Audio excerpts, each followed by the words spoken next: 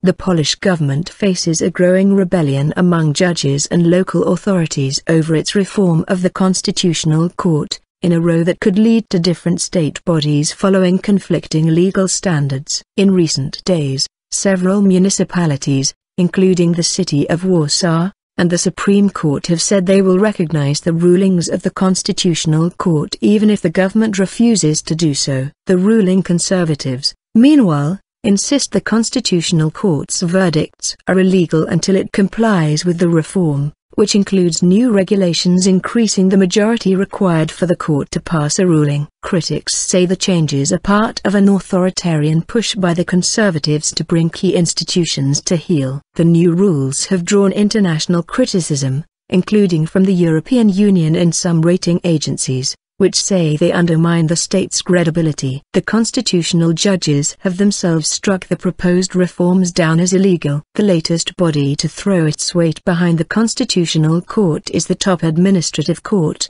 which said on Wednesday it was the government's duty to recognize rulings without undue delay. Such statements reflect the disapproval of the government, and its failure to uphold the Constitution, said Jan Wawrzyniak, a constitutional law professor at a Warsaw University. What they can lead to is our legal system being split into two competing realities. The Law and Justice Party, PiS, argues its reform of the Constitutional Court is necessary to reflect a new balance or power in Poland after it won an October election. It is dismissive of talk of pending legal trouble. In reality, it's a team of cronies who got together to defend the previous government's status quo. PiS spokeswoman Beata Mazurek told reporters, referring to the Supreme Court's decision to defy the government, potential for trouble. Municipalities such as Warsaw City Council have said they will heed the Constitutional Court's rulings, in defiance of the government. Their critics say they are motivated by politics rather than concern for the rule of law. The Warsaw Council is dominated by officials linked to the centrist civic platform,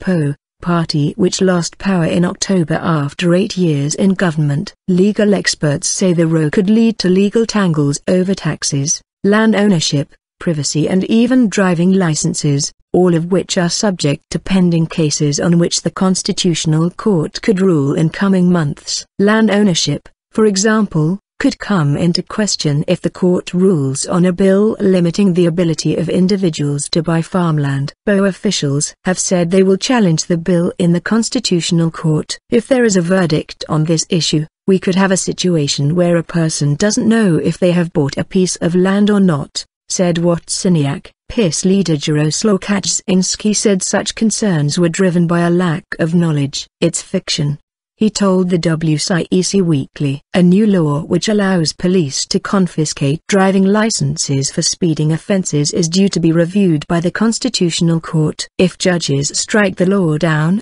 the government is likely to refuse to recognize their ruling. This could result in police obeying the regulation, and taking licenses away, and a local authority following the court ruling and returning them. People who are not given their licenses back could sue the state said Human Rights Commissioner Adam Bodnar, referring to people living in areas where conservative-leaning authorities would toe the government line. I am not sure the government understands the potential consequences of its behavior. Financial markets are becoming increasingly wary of the constitutional row. Traders say, a senior financial market source who spoke to Reuters on condition of anonymity said that at a recent meeting with investors in London, Economy Minister Mateusz Morawiecki was faced with a barrage of questions on the constitutional crisis. Investors are worried that if the Constitutional Court stops working, other courts will stop working and they will not be able to get their money back, said the source.